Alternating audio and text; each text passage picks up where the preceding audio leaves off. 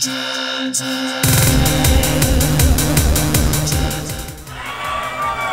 guys, we are in the basement and today we're gonna do another John's Arcade tech video. Today we're gonna cap a monitor. We're gonna do a cap kit in a Wells Gardner 4900 from start to finish. Now this is part of my Gyruss Restore series. This is actually the second video. I actually created a playlist for it, so I'll be putting all the Gyruss videos in one location. But today we're gonna cap the monitor. Now the 4900 is actually working, but I'm gonna be proactive here. We're gonna replace the caps in it. We're gonna document the entire thing, and also at the end we're gonna replace the buttons on the uh, the Gyruss just because. Um, so anyway, that's all gonna be in this video. It's probably gonna be a long one. So here we go. Why don't we go out to the garage and start the cap kit on the Wells Gardner 4900. Okay guys, here we are in the garage and this is gonna be part two of our Gyruss Restore. And here's where we are so far, and I haven't done a whole lot yet. Um, I've mostly gotten the game working by replacing the power supply because um, the one that was in here when I got it was dead. And I took the control panel apart and uh, cleaned it up. I rebuilt the joystick uh, this is a, an original Monroe joystick. It was all rusted. Um, I took the whole thing apart. I sanded it. I got all the rust off. I lubed it up with some silicone spray, and it's working just great. Um, the control panel, this is the original one. I haven't decided yet if I'm going to replace this or not. Uh, the buttons here are original. I actually picked up some new buttons over here um, from the real Bob Roberts. These were like uh, $3 for all three of them. Really cheap. I think they were a buck a piece for the red and then two dollars for the white so it was four bucks for new buttons no big deal and maybe we'll replace those in this video too um, I did get the marquee working here um, the light behind here which you know, I always try to use the original marquee, and uh, I did. And uh, what I did is I replaced the starter and the bulb, and uh, that stuff looks like uh, looks like this over here. So here's the original bulb and the original starter. And this is a standard FS2 starter. You can get these anywhere, um, any hardware store. And then these bulbs, this is a 15 watt. I think it's 18 inches long. Um, so I replaced the bulb in the starter and that fixed that. The marquee light worked. Um, it does look like there was some kind of hack job going on in here. I'm not really sure about that. Um, I might actually just replace it because I don't want my house to burn down from this, but uh, the original ones are pretty great. If you're going to replace them, I recommend going to Walmart um, in the US because Walmart sells a really nice 18 inch light fixture made in the USA for like, I think $6 with the bulb. Um, if you go to Ace Hardware, they'll charge you $6 just for the bulb. So Anyway, um, I did also uh, on the control panel. I uh, I sanded. Actually, what I did is the original carriage bolts that were on here, and there was one here and one here for like, locks the control panel down, and then there's four for the joystick. And what I did, um, I was gonna sand the rusted original ones down and repaint them, but instead what I did is I went to the hardware store and I bought new carriage bolts and when I bought these, they were this kind of galvanized uh, steel color. Um, and I don't want that because I wanted them to be black. And so what I did is I sanded the heads of them, right? And then I hit them with primer. And I, what I always do is when I'm uh, when I'm do, redoing the bolts, I will do it in a. I always take like a, a 12 pack of soda like this and I put holes in it and I put all of the bolts in there and I sand them first, get all the rust. If they're original, I get the rust off. And if they're even if they're not original, I'll sand them. And then I hit them with a little bit of primer and then some spray paint. And so here's what I use. Um, I hit them with this Rust-Oleum black primer first. I do about two or three coats. And then I hit them with some uh, semi-gloss black. And these originally were kind of like a semi-gloss satin finish, and uh, they look really nice. And they, they don't look silver. They look black on the top, and then the bottom is the original silver. So I decided this time not to uh, restore the original ones. I just put some brand new ones on. Because the original ones, the threads were really rusted, and uh, it was just a pain in the ass to get them off. And so I wanted some nice clean threads, but I wanted the black top, so I, so I painted them, and they look really good.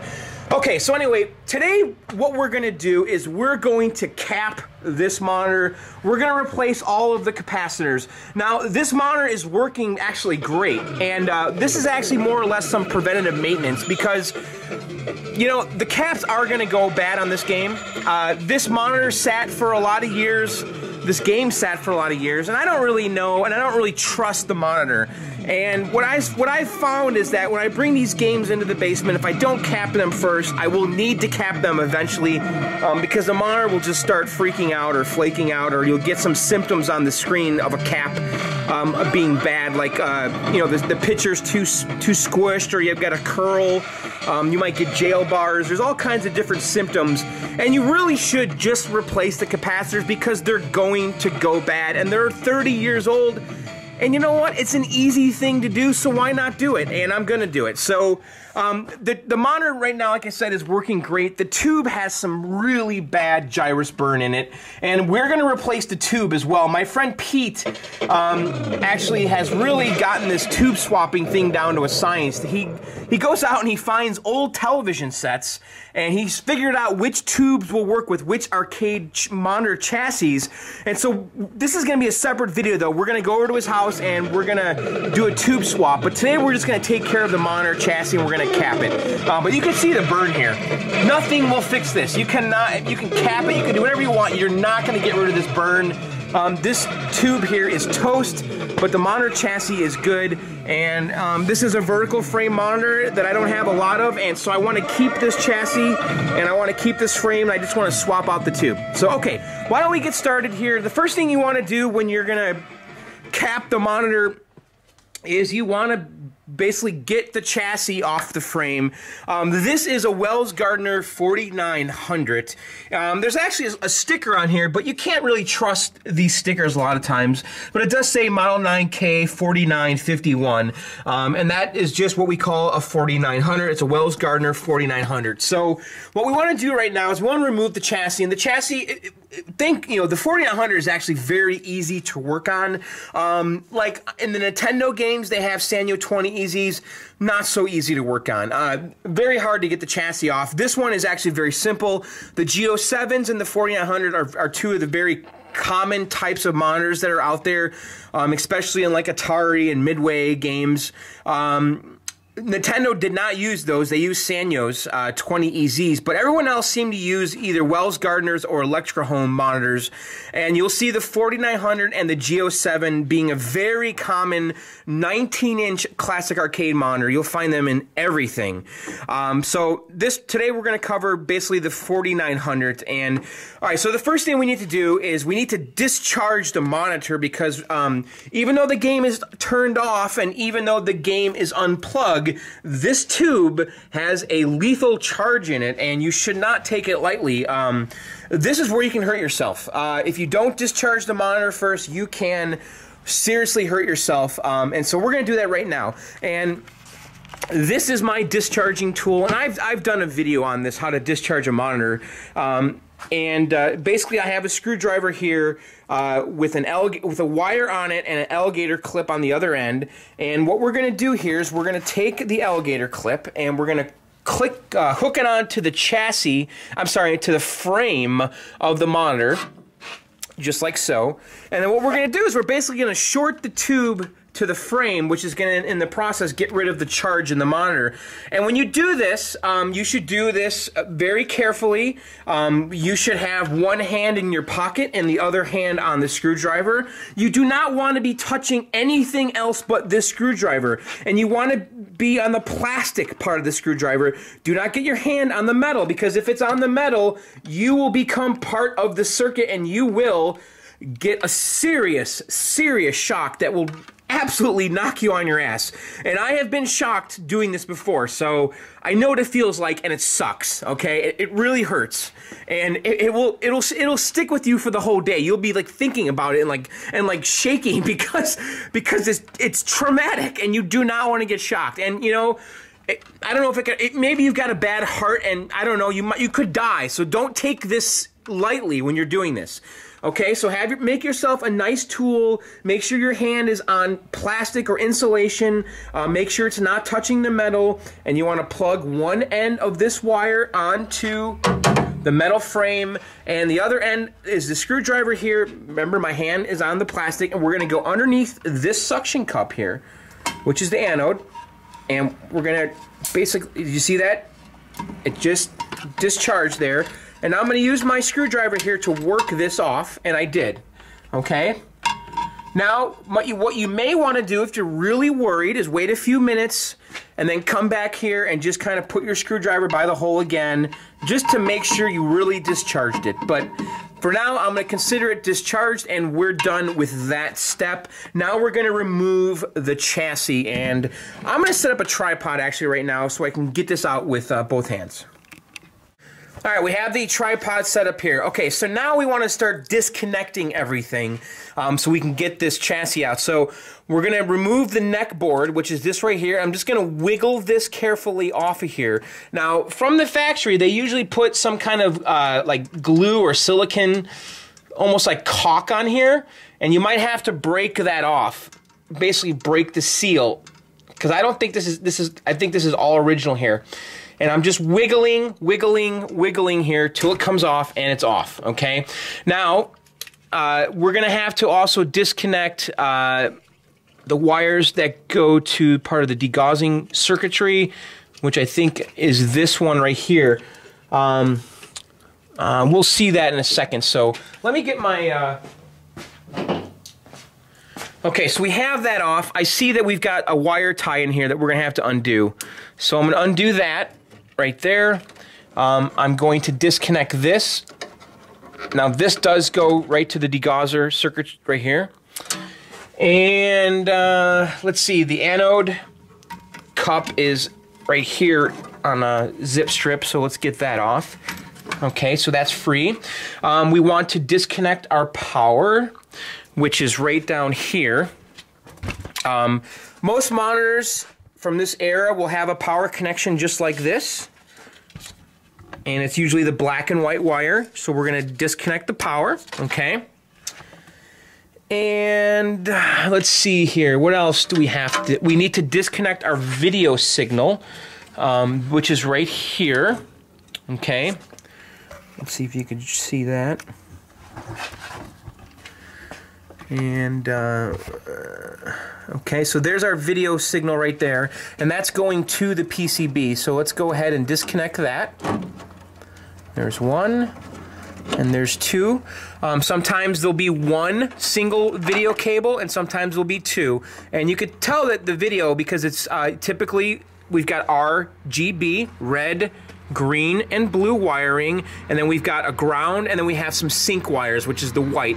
And sometimes this will be one complete plug like this, and sometimes it'll be separated. Um, in this case, it's separated. Um, and now I see here that this is zip stripped uh, down here, so I'm going to go ahead and cut that off so so it doesn't come out with the chassis.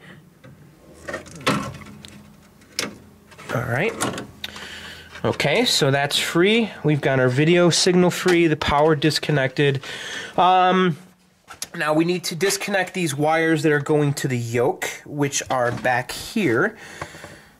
Um, right here. Now, before you do this too, you might want to take a photograph um, so you remember how to put this back together. I'm not that concerned about it because I've done this a few times. Um, but, uh, you know, these wires here, if you put these on backwards, it will cause the picture to be upside down and things like that. So it's not the end of the world if you put it on backwards, but uh, and you can actually see someone um, did put this on backwards purposely. If you look here, it was connected. It was connected like this, okay? If you look, that's not originally how it was. This connector was originally like this. So somebody broke this off and did it like that because the picture was probably upside down. And to remedy that, you can switch these and it will change the orientation of the picture okay? And that's what somebody did. This could have been a factory mod for all I know, but they broke this connector in half and connected it on backwards, okay?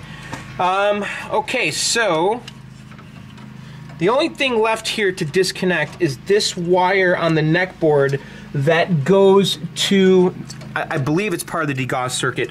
Now it, it's soldered on, uh, which is a not a big deal. So I'm, what I'm going to actually do is I'm going to cut this. Um, actually, it's this wire right here. This one here is a ground wire that goes. Oh, I think this is a ground where they ground to the chassis up there. Um, and then there's another ground right here Okay, let me see. Let me show you guys what I'm talking about. So these wires right here, these black ones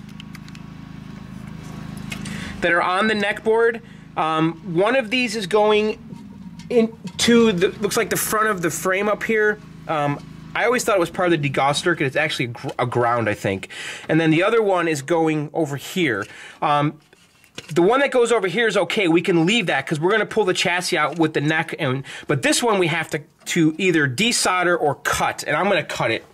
Um, and, and what we'll do is I'll install a quick connector on here later when we go to put it back together. Okay, so I just cut that off, and um, when we put the monitor back together, I'll put a little quick connect on here. Um, so that we, if we ever have to take it apart again, we can easily uh, re reconnect and deconnect. Okay, so I believe that is everything, and we can now pull the chassis out. Um, and removing the chassis on these is actually very easy to do.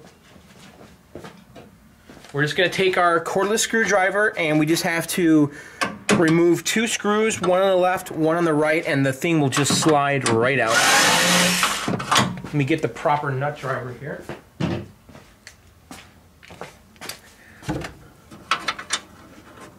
Okay.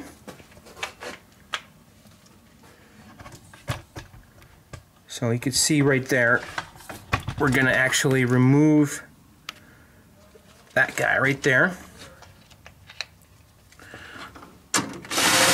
And that's not the right size nut driver. Let's see. Quarter inch.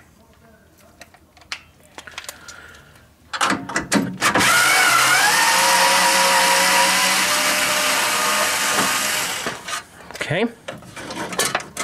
And it fell in the bottom of the cabinet. I see it. All right. There's one. And let's remove the one on this side, which is right there.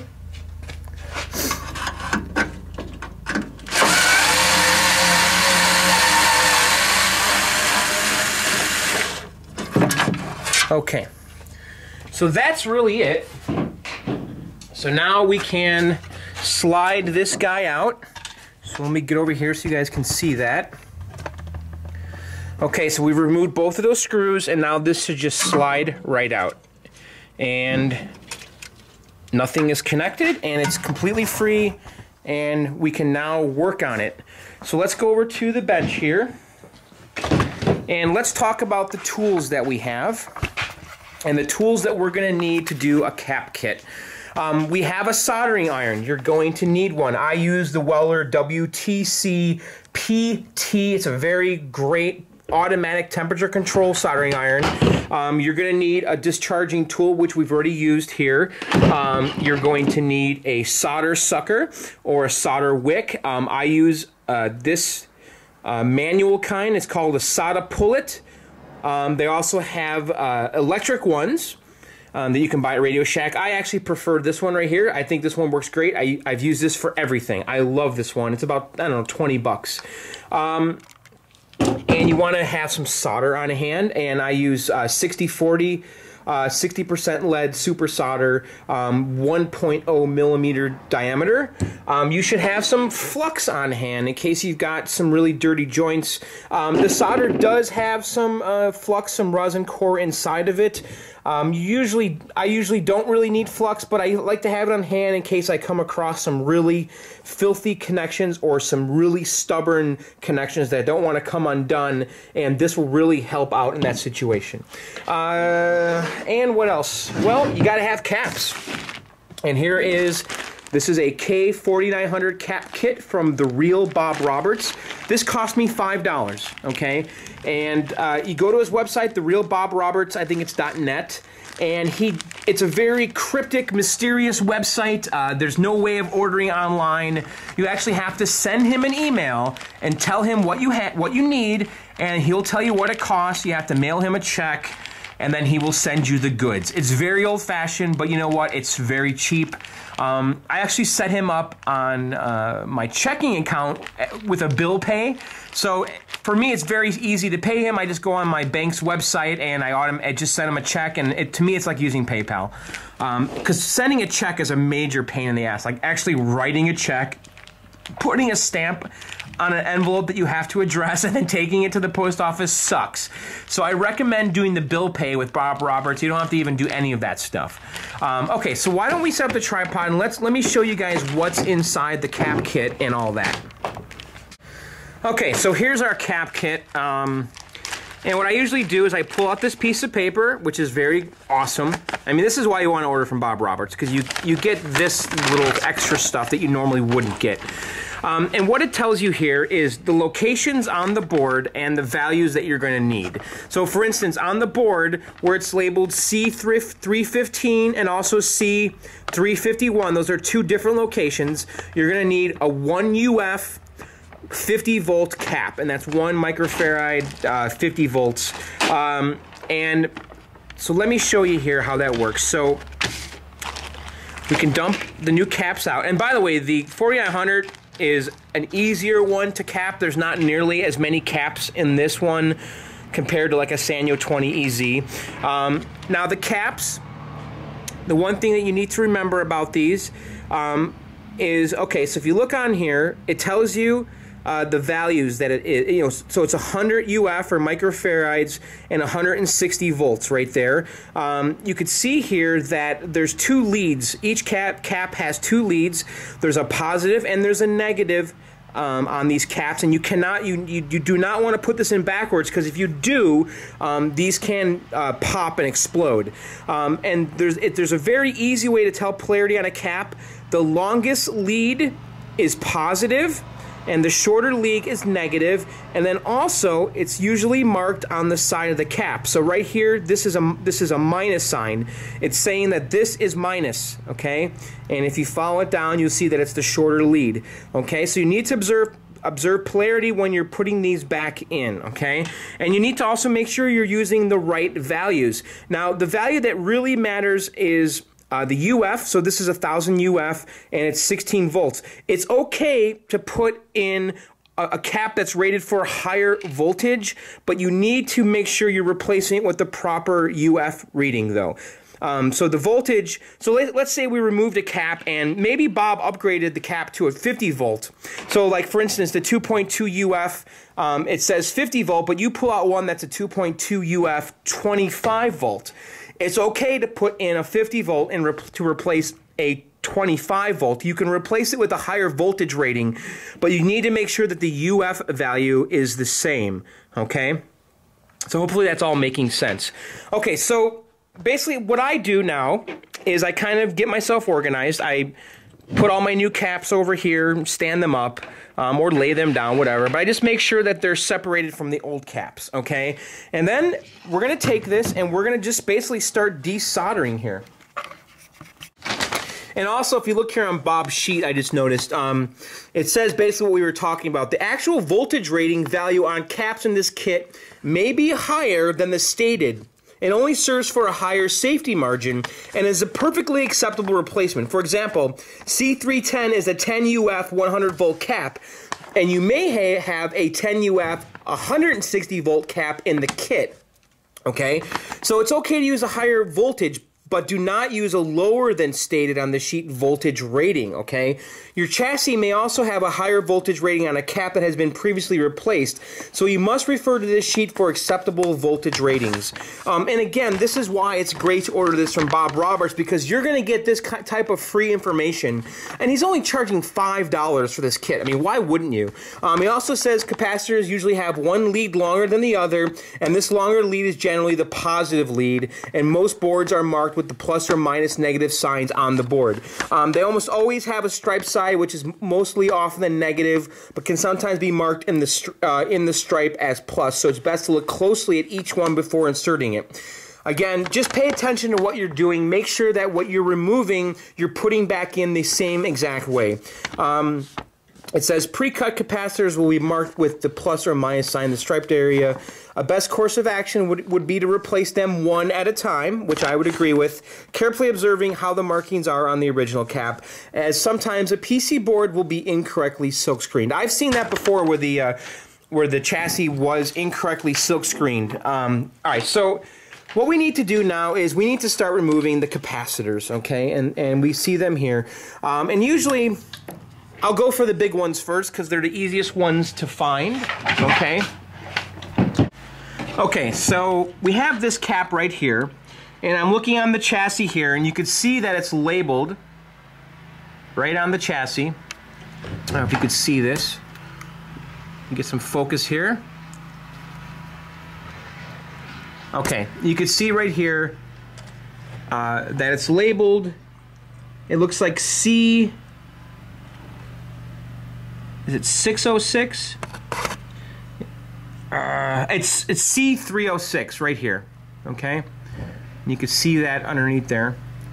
Okay, so I'm gonna look at my sheet and I want to make sure that that's actually part of the kit because I've actually had it where uh, the the caps are not part of the kit because uh, sometimes you don't replace actually all of the caps. Um, and I don't really know how he how he comes to that conclusion. And I actually don't see C306 on here. What the hell? Actually, this one is not C306. All right. Oh, you know what? I, am pretty. I think the label on this one is underneath the chassis. Um, I think C306 is this little guy right here, and it's not the big one. So we're to go ahead and we're to desolder this one. And I got my finger on it, and I'm turning it over, and I'm trying to see. Oh, this is C301. And I look on the sheet, and yeah, C301 is definitely part of the kit. So, um, so I'm going to turn this over, and I've identified that it's these two right here. Okay. C301 is right here, okay? Now 306 is next to it, and there was that little tiny one. Um, it's not one of these, uh, I forget what they call these, uh, whatever. They're, it's a different kind of cap. So we're gonna do C301, which is right here. Okay, and we're gonna go ahead and what I'm gonna do first is I'm actually gonna add solder to that. And it's gonna make it easier to remove. Okay, so we're gonna heat this up and we're gonna put a little solder on each of these. Okay, and now I'm gonna come in with my sucker.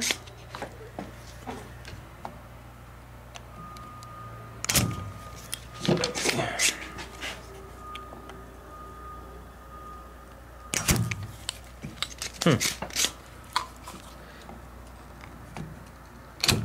It's almost like my tool is plugged up.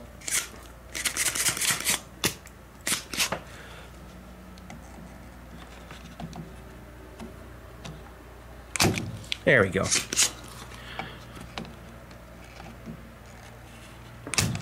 Okay, and you can see we're getting all that solder off.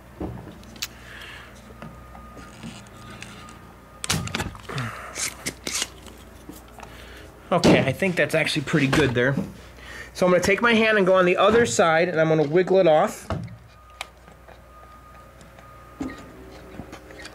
And I'm going to come in here with my soldering iron. Okay, and there we go. We've got, we've removed that cap. And let me uh, zoom out here. Okay, now this cap that we just removed is a 330 UF 50 volt cap at C301. Excuse me. And now if we look on our sheet, okay, so 3 C301 is a 330 UF 25 volt. Um, now we're going to assume, okay, that the cap, that this was replaced at some point, okay? And I actually am going to assume that. So we're going to put in a 330 UF 25 volt there. Even though there was a 50 in there, I'm guessing that someone worked on this monitor at some point and replaced it, okay? So I'm going to trust Bob Roberts. He hasn't let me down before. So Okay, so let, and if you're really uh, worried about it, you could go check in the manual. I'm not. All right, so let's try to find our 330 UF 50 volt in the pile of the new caps here. And uh, actually, it's a 25 volt. So here it is. So it's a 330 UF 25 volt, which goes in C301. So let's turn this over. Okay. And you can see on the board here that it is screened. Okay. So you can see on the board that positive is right on this side and negatives on this side. You can see that C301. So we're going to go ahead and put our new cap in with the positive lead, the longer lead going towards the positive side. Okay. All right, so we now have the new cap in place. And what I do here now is I don't solder it in just yet. I usually do this at the end, okay? But I'm just gonna go ahead and bend these leads so that it stays in place. And I'm also gonna double check here my polarity, because um, again, you could see that positive is right here and negatives on that side. So I can tell from this side that this is my positive lead because it's longer. And I know that I put this in correctly. Okay, so now we've replaced one cap and now we go on to the next.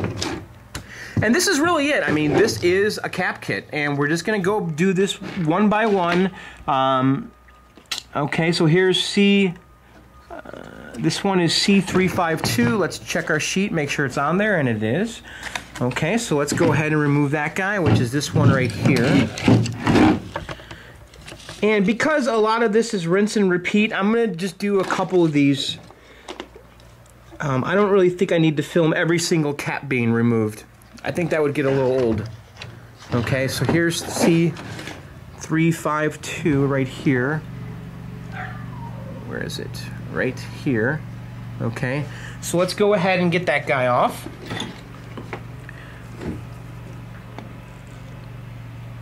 So I'm just putting a little bit of solder on here.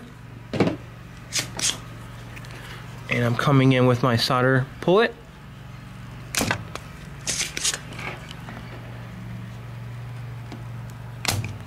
Okay, so we've cleaned that off desolder that. I'm to go ahead and put my hand on the other side. And we're to wiggle that guy out.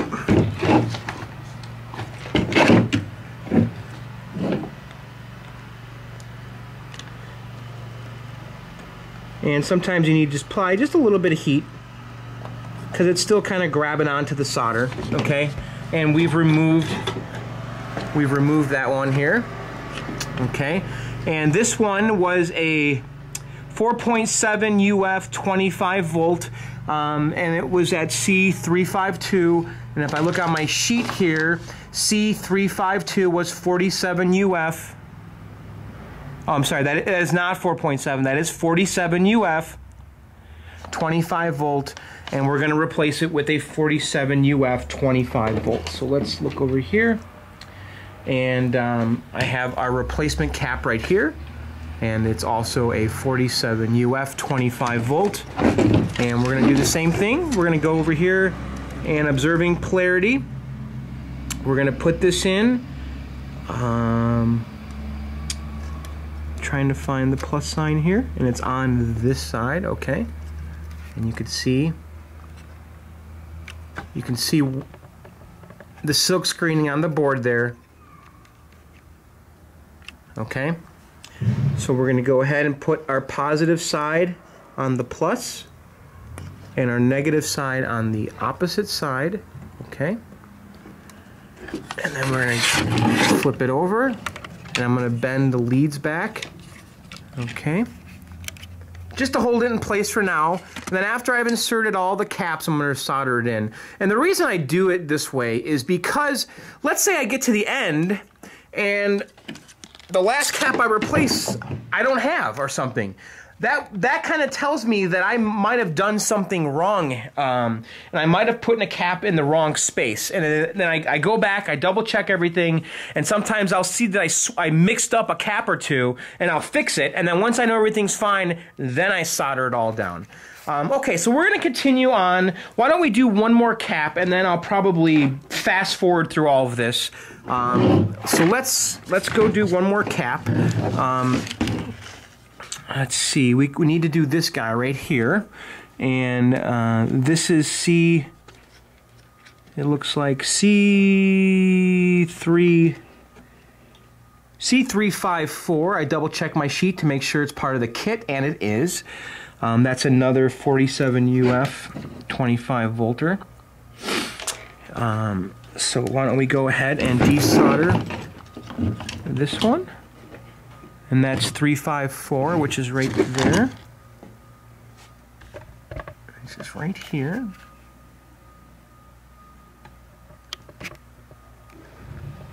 Okay, so we're going to do 354, which is this guy.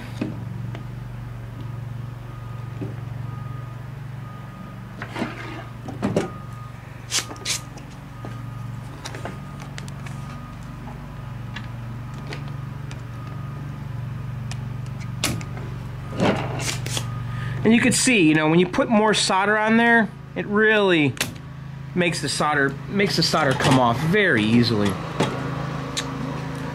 Okay, so I'm gonna go ahead and put my hand on the other side and wiggle this guy out. And just like that, it came out. Okay, and let's double check what was in there. Yep, that was a 47 UF 25 volt. Okay, and we're gonna put in a new one, which is right here and this is also 47 UF 25 volt. Um, again, let's put it in, observing polarity. And uh,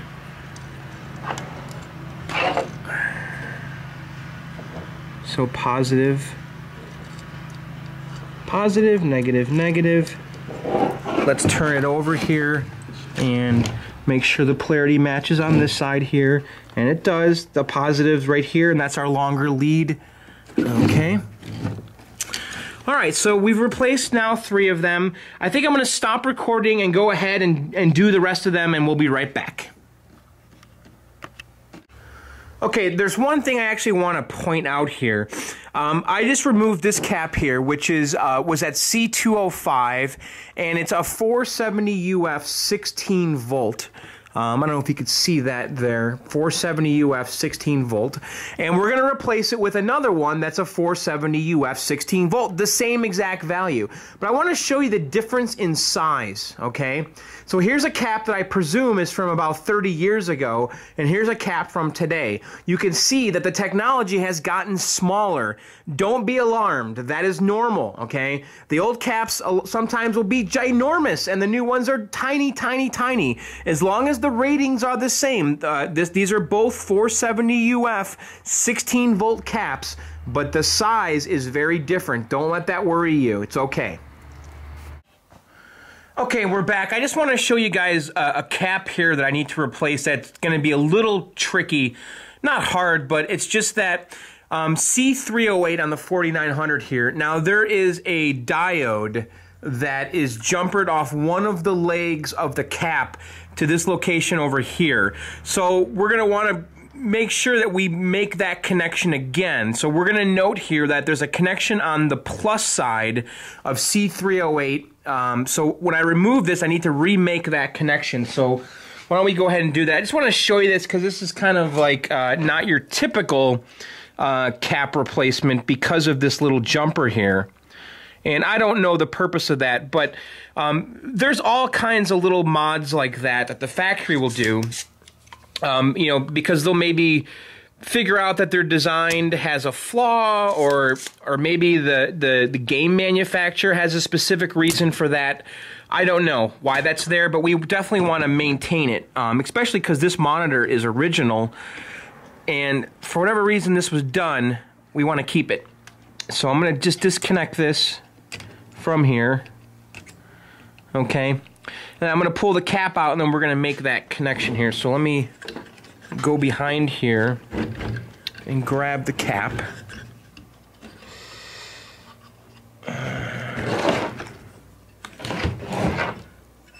It's kind of uh, in there.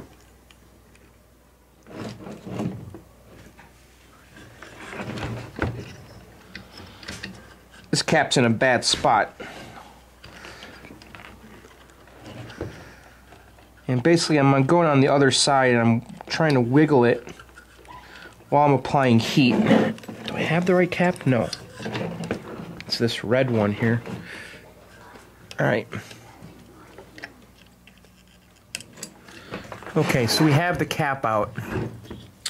And this one was at C308 um, which according to the chart is a 2.2 UF 50 volt and that is exactly what I pulled out so why don't I go ahead and get the 2.2 U, uh, UF 50 volt and here it is okay so we're gonna put this back in positive is over here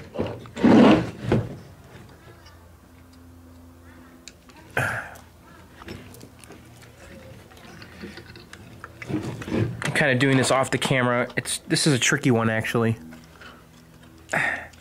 It's in a bad spot.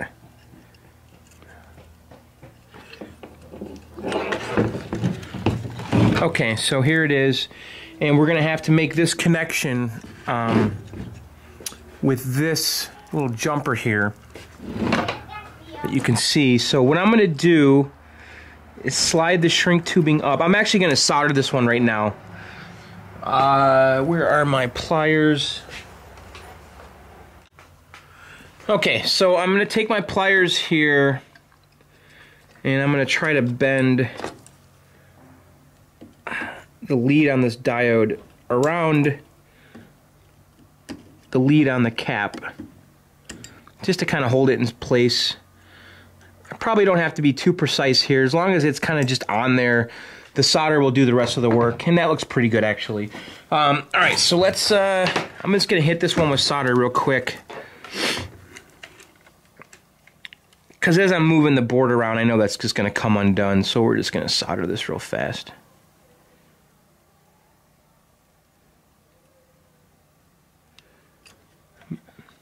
Probably put a little more solder than I needed, but all right, so that, that cap's in, and we've we've maintained that connection that the factory did here with this diode and it's it's on there nice and good. And if we wanted to double check our work, we could take our, our, our, multimeter and check continuity between those two spots, which isn't a bad idea. I think I'm going to do that actually. One sec. Okay, I have my, uh, my multimeter here, and I'm going to put it on continuity, uh, which is this little symbol here. Now, this is a Fluke one um, every multimeter is going to be a little different, but basically what the continuity means is that if, if there is continuity uh, between point A and point B, it's going to make a beep sound, and that tells you that the joint is good because the electrons are flowing from point A to point B. So why don't we go ahead, and what I'm going to do is I'm actually going to put my lead, um, I'm going to put my lead right on, actually on the edge of the, on the cap here, right here. And this is a diode though, so it's a blocking diode. So I need to get kind of underneath here. And I, I just heard the beep, so so that tells me that's a good connection. Um, so that jumper there is successfully soldered back on. All right, let's continue. I'm almost done here. I've only got like three more caps to go. Okay, we are done. Uh, we've removed all of the old caps and put new caps in the, their locations. Um, I probably should have checked off the caps as I did them, but I didn't. And uh, so the next step now is we want to solder now all the caps. And I, I always save this to the end. And I do this just because if you know if I get to the end and something seems out of order, like uh, I'm out of caps or I'm missing a cap, then I know I can go back and quickly uh, see where I made my mistake. So what we're going to do now is we're going to solder all these leads that are hanging out off the bottom and then clip them. Um, so why don't we go ahead and start soldering and I'll just kind of show you guys um, I guess a quick soldering tutorial. Um, I've already done a how to solder video before, um, but we can kind of just go through this real quick and I'll just show you guys kind of like, you know, how I solder and how to solder. If we can get some focus here. Oh, come on, focus. There we go. Okay, so we're gonna go ahead and solder this guy right here. And what I do, basically, um, I bend the, the leads back when I'm uh, just sticking them in their location. So I'm going to bend the lead straight up. You don't have to do this, but it's it just makes it easier if you ever have to remove it later. And what I'm doing is I'm heating up the pad and the lead on uh, the capacitor. Then I'm going to come in here with my solder on the other side, and I'm just going to touch it, and I'm, then I'm going to lift up, and that's it. Um, that's a good solder joint. And you want to heat the part. You're not. You don't want to heat the solder per se. Um, the part is going to basically you're going to touch the solder to the part. Um, and then the pad and the part are going to kind of suck the solder up. Um, and it's going to kind of stick to it, and then you just kind of lift, and that's really it. Um, that's all you need to do. Um, so why don't we go ahead and do another one? It's very simple. Doesn't require a lot of solder, um, and it doesn't require a lot of heat. So why don't we go ahead and do this guy right here. And I'm putting my soldering iron on the pad and I'm touching the leg on the, the, capacitor at the same time and I'm coming in there and then I'm heating and lifting. The pad I'm touching the pad the solder pad and the and the lead on the capacitor at the same time and then I'm coming in with my solder and then I'm heating it up and lifting it up and uh, it's pretty straightforward really. It's really not hard to do. Um, I do recommend getting a decent soldering iron though because I remember when I was coming when I started doing this in the arcade hobby um, I had a shitty soldering iron. I was not having very good luck soldering. And I thought it was me and it turned out it wasn't. It was indeed the crappy soldering iron and I really like this Weller uh, WTC PT um, simply because it's a it's a temperature controlled one. Um, some of them will have uh, you know like a dial on them where you can actually set the temperature. Um, I don't really think it's necessary because this one is always at the right temperature. I never have to think about it. And for the kind of work that I'm doing, which is these kind of large components on PCBs, it doesn't really require insane precision. Um,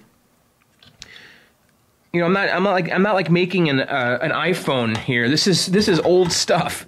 Um, I think with pretty big tolerances. So the heat that's coming out of my soldering iron is always at the right temperature. So why don't we go ahead here and just keep going and solder, solder, solder. Um, let's get this guy right here. And I probably should be looking on the other side to make sure the uh, capacitors are kind of sitting in a good spot, but I'm not. Uh,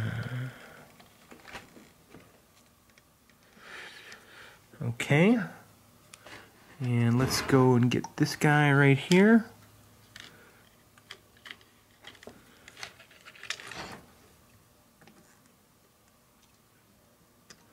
And again, I'm, I'm not using a lot of solder. I'm not keeping the soldering iron on the pad and the part for too long. Come on, get in there. And I'm kind of watching as the solder kind of sucks to the uh, the pad. Because you'll see it, it actually kind of goes on it. And uh, that's when you know that it's working right. So let's do this one.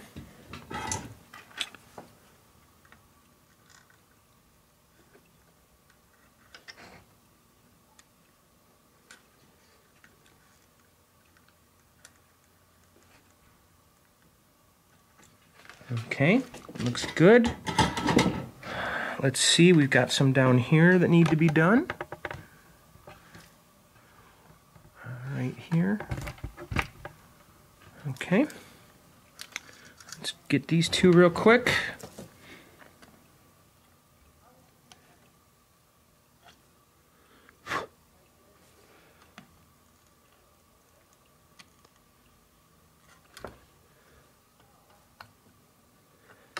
There's this one right here.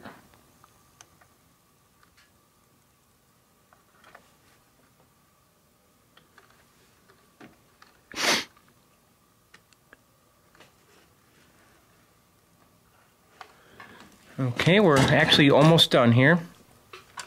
We've got a couple over here.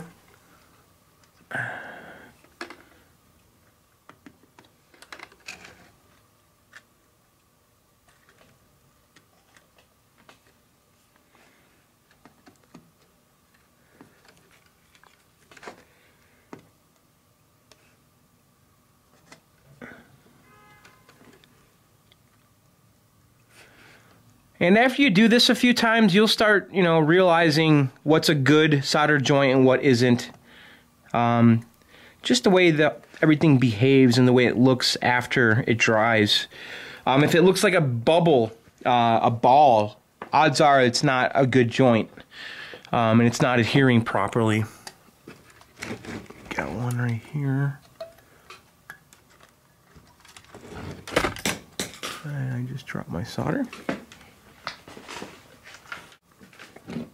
Okay, so let's get this one.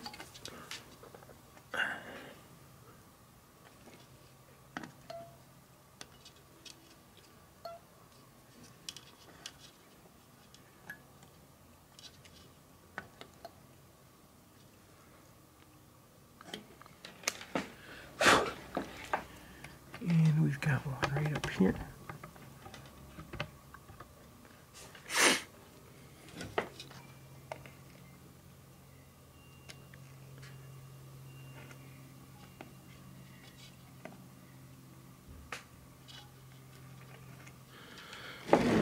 Okay, so looks like we have uh, looks like just one more to go, which is right here.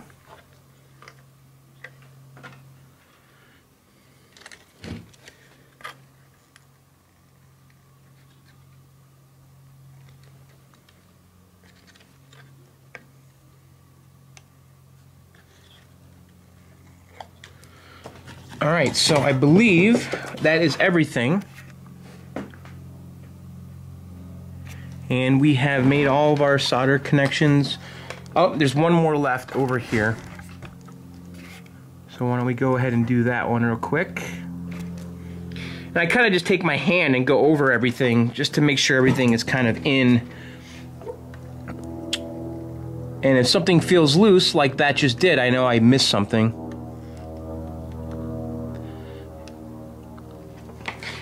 Okay, so I believe that's everything now. Let's double check again. Um, I'm just gonna kind of, this is this is my technique. I invented this. Just just kind of take my hand, go over everything like this, and if anything feels loose, I know I missed something, but I don't think I did. Everything looks like it's done. Okay, so now it is time to clip everything. Um, and what we're to do is we're to take our flush cutters here. Um, I buy these at Home Depot. They actually have a, a, a two-pack where you get uh, these flush cutters and these pliers. I love these pliers. I love these flush cutters. I think it's about 15 bucks for two of these.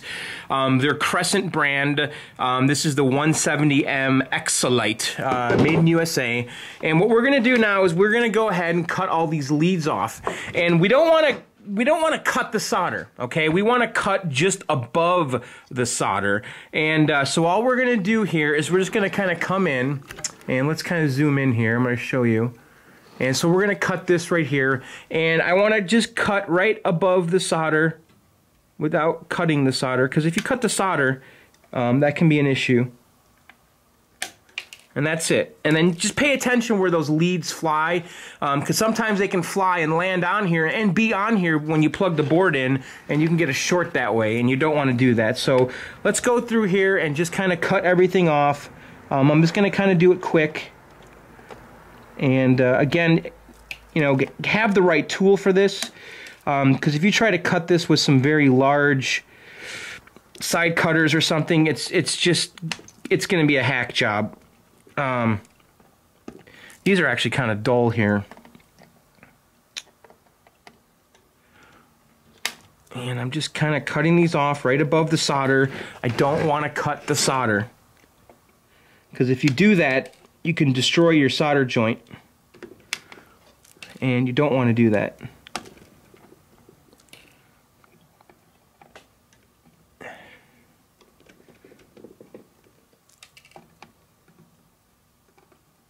and just take your time and just gotta make sure you get those leads off that are falling because we don't want those hanging out when we're done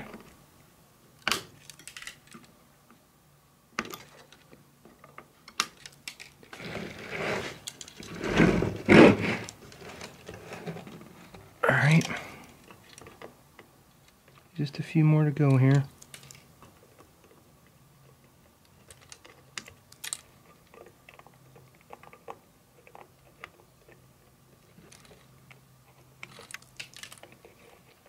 Is this exciting or what?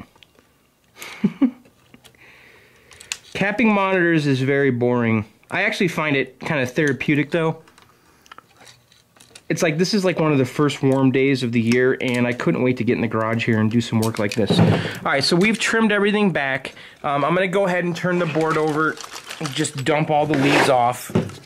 Okay, and uh, we're just going to kind of double check our work visually, make sure nothing's sticking out too far because um, that can cause shorts. And I'm just going to kind of go in here and just clean up some of them that look like they might be a little bit too long.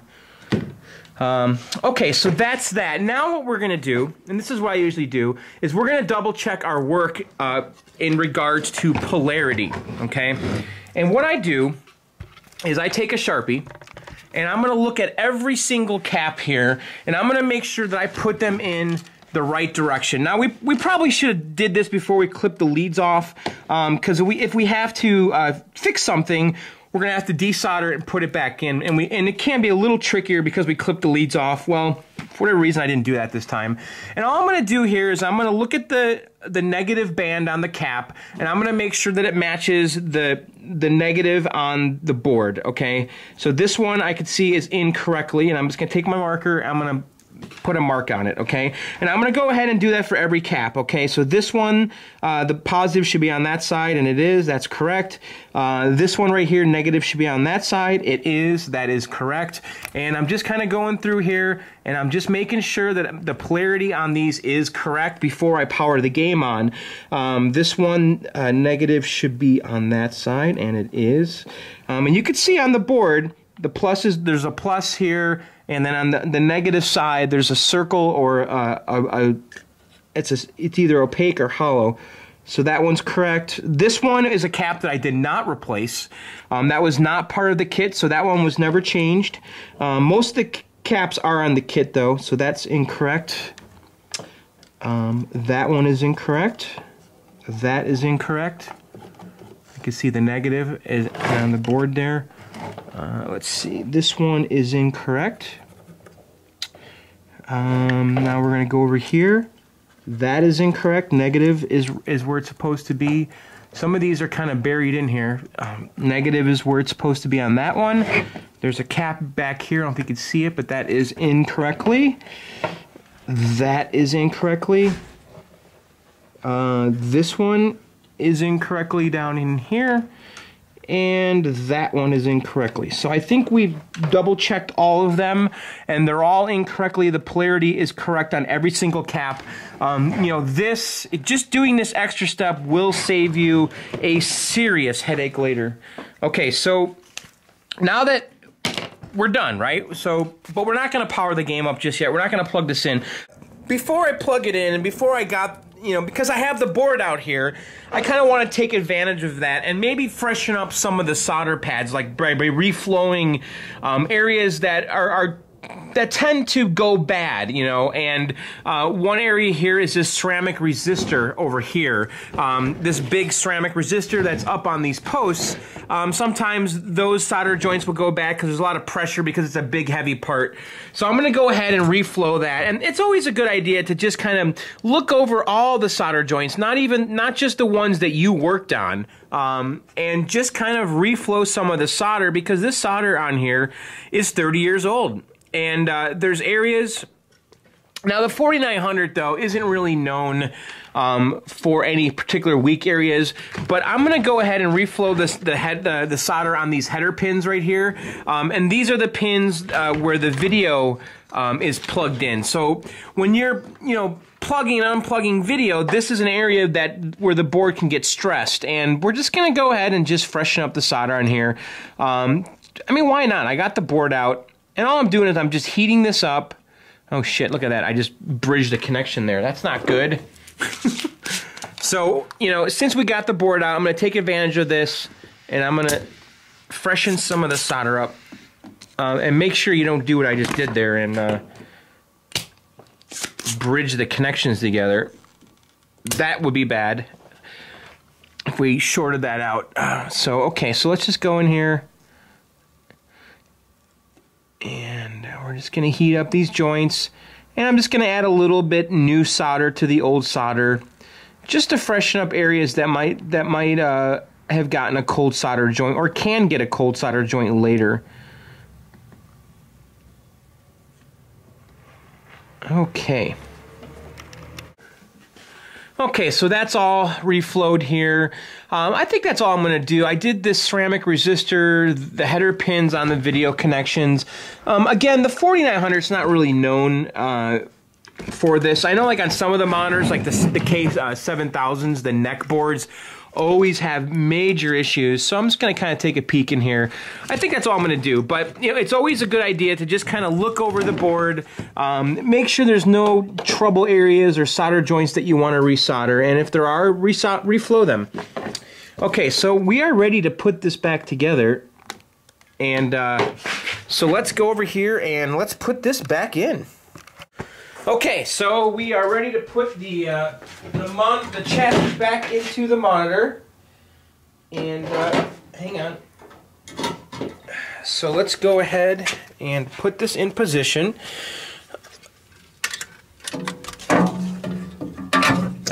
And it goes in like so. We're going to have to put those screws back in. So why don't I get those screws in my little screwdriver. Okay, so we're basically going to do the opposite that we did when we put it when we took it apart. And again, you know, the 4900, this is such an easy monitor to work on.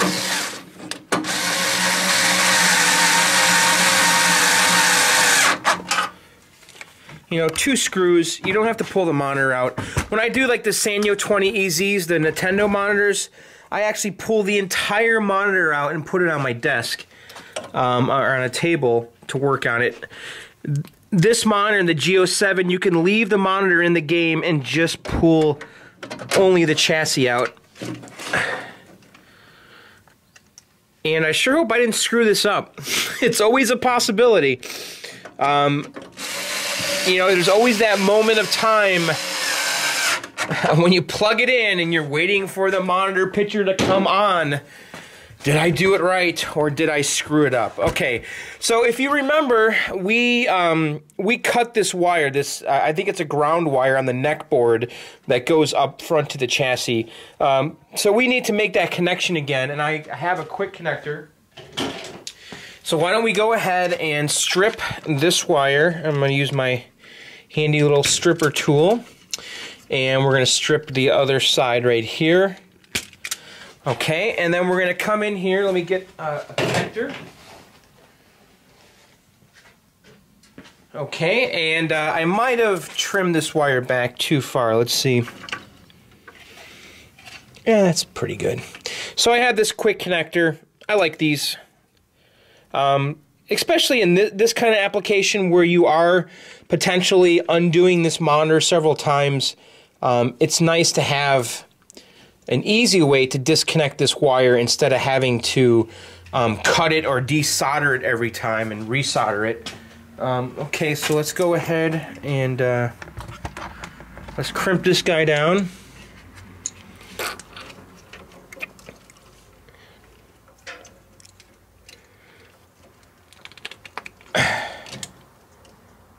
Sound there good?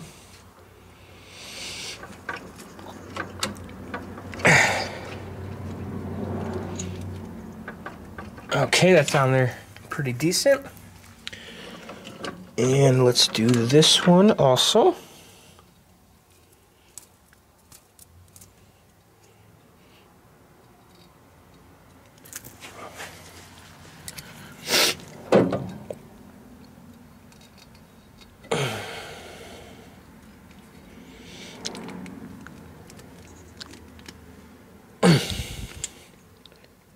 Ah, shit. Alright.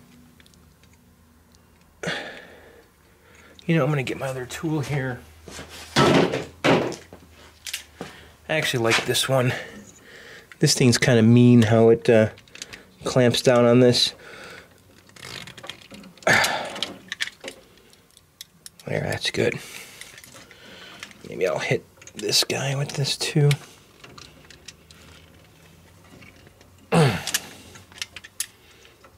Okay, so we got that on there. So we can make our connection to the neck board to this ground wire using a quick connect, um, which we'll easily be able to undo next time if we ever have to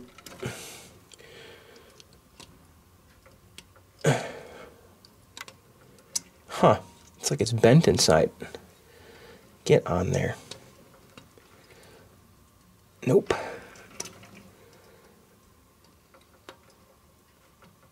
Oh, come on. There we go. Okay. So we've got that connection. So let's put our neck board back on. Now the neck board has a key on it that matches on here. So there's only one way to put this on. And it's like that. And I'm just going to wiggle it back on just like we wiggled it back off. And I don't want to really put too much pressure, just a gentle wiggle. Okay? Because you can snap that neck off, and boy, let me tell you, if you do that, you're in a world of trouble. So, so it will basically, this the tube would be done. You'd have to replace it if you snap the neck. Okay, so let's make our power connection. Um, and I need to find where that went. It probably fell into the cabinet. Where did my power plug go? Oh, here it is.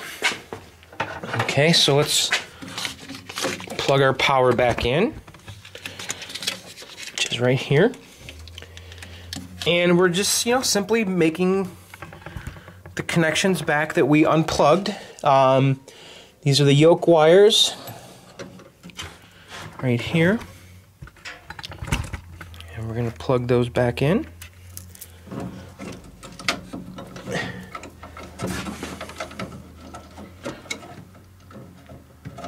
Okay.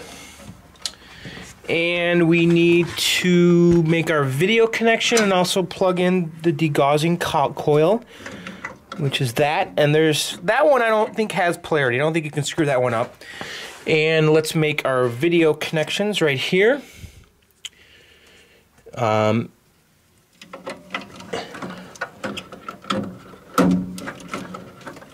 okay. And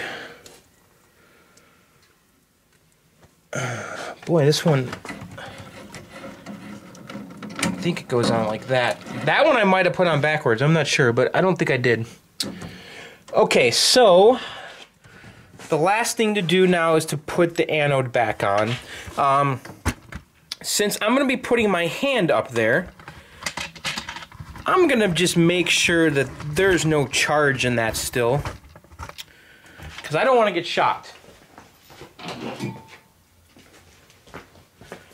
And so what we're to do is I'm going to go ahead and we're to basically discharge this monitor again before I put my hand up there to, to reinstall this.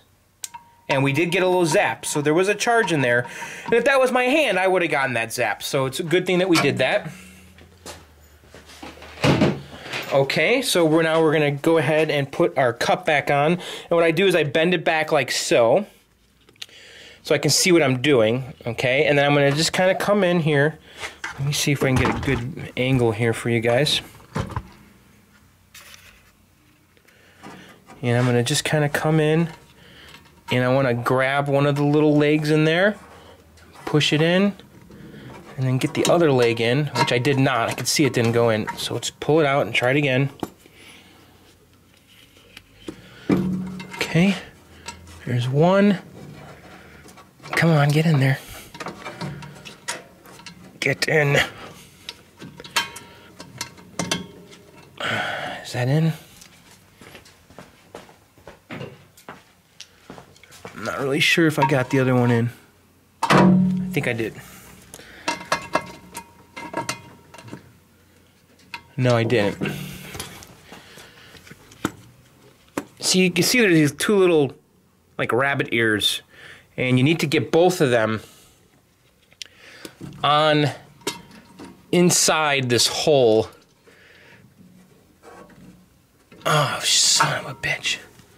I think I gotta bend this one.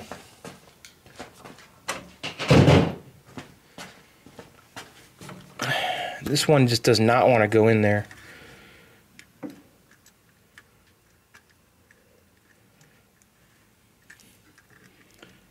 Going to kind of bend them a little bit.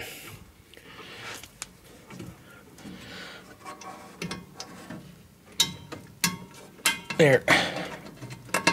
We get it? No.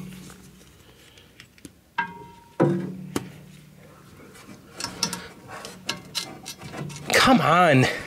Get in there. There we go. That's on there. Okay, we got both those rabbit ears. That's on there good.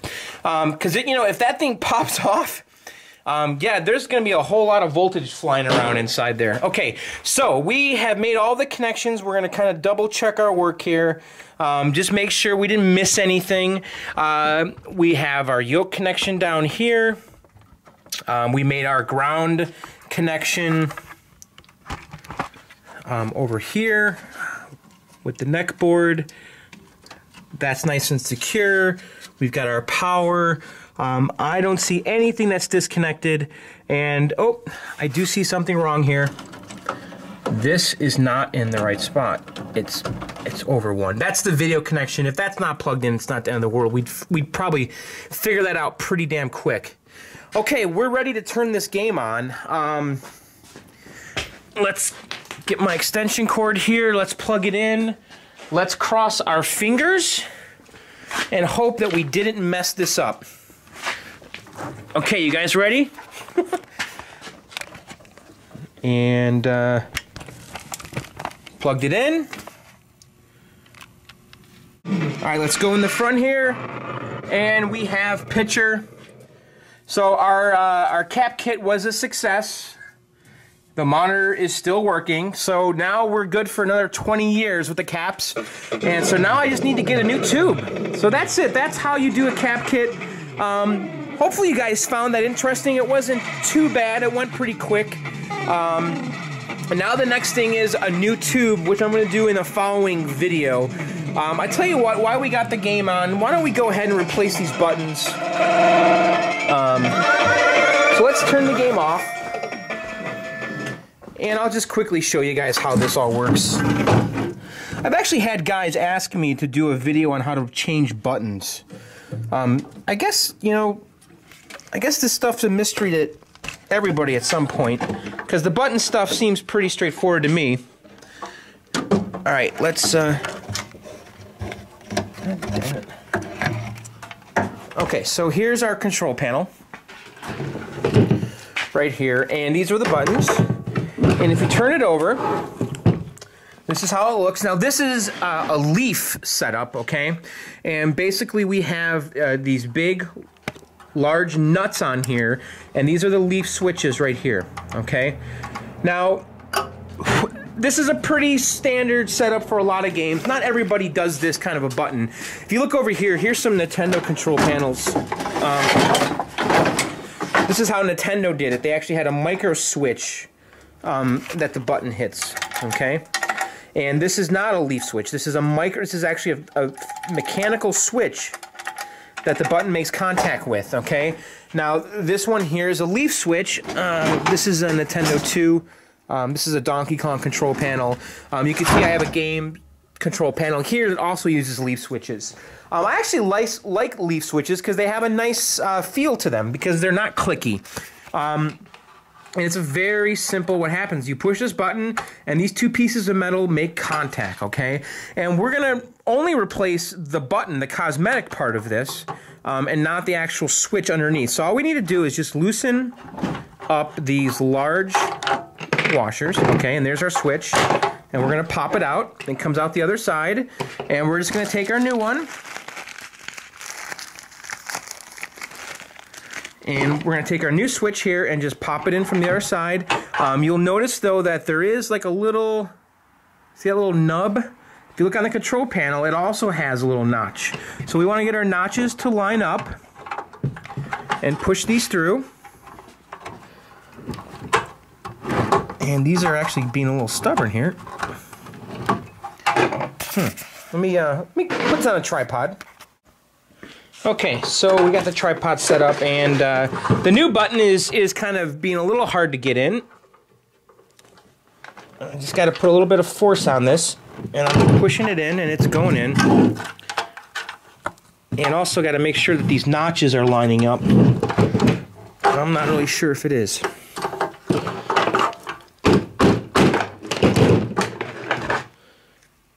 Okay. All right, let me see here. Okay, there's the notch. There. And let's check it from the front and it looks nice and flush. And we're just gonna basically take this and put it back on here. And tighten this. I actually usually just tighten this by hand, but if you want, you could take some pliers and see if you can get another turn out of it. Okay, so there you go, the new button is on, just like that. All right, so let's put a new red button on here. And uh, this is a pretty simple thing to do, really. And I'm probably gonna undo this because I think I'm gonna put a new control panel overlay on here.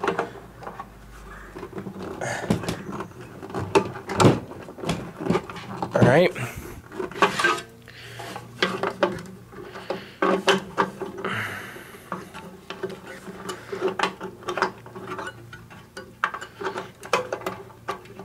And we don't want to bend the leaf spring, leaf switches too much.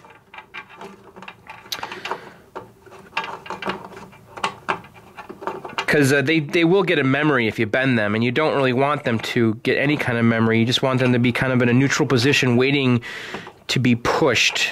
And, uh, all right, let's get this nut on right here. Okay, that's it. We're done. We've got new buttons, and uh, we can go ahead and test them. To just make sure they're making contact when we push the button, and they are.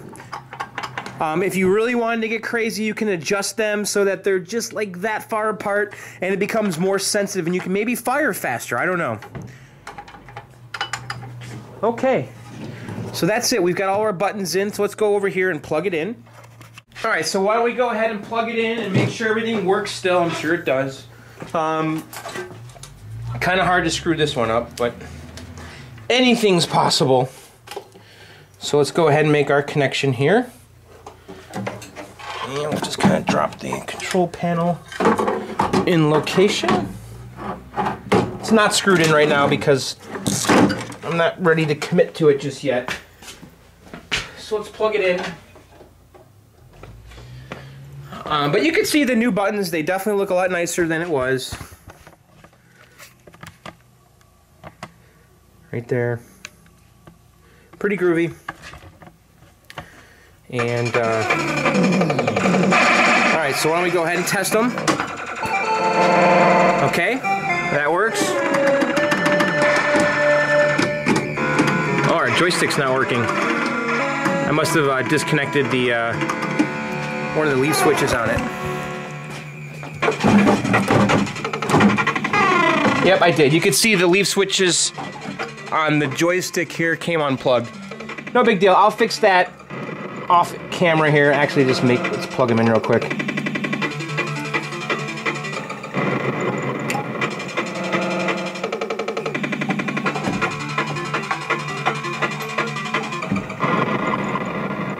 Put this back together. All right. Okay, it's all working. And the new buttons have a pretty nice feel to them. Okay, there you have it. I mean, that's it for part two of the Gyruss Restore. I hope you guys enjoyed that. Actually, I wanted to show you guys something that just happened here. Uh, the mail person just showed up and delivered this. And uh, I gotta say, I'm pretty damn exciting, uh, pretty damn excited to be getting this. So let's check it out. And this is going to be a mammoth project that we're going to be documenting. And this is one of the most important parts of this new project. And let's open it up and take a look, and hopefully it's everything I dreamed it would be. Because we're going to be building an arcade game from scratch, guys. I mean, literally from scratch. We're going to be building the PCB. We're going to be soldering every component onto it, and this is the, P the PCB. Um, I paid for this a while ago. A guy on KLOV was reproducing this PCB, which is the PCB for Quantum.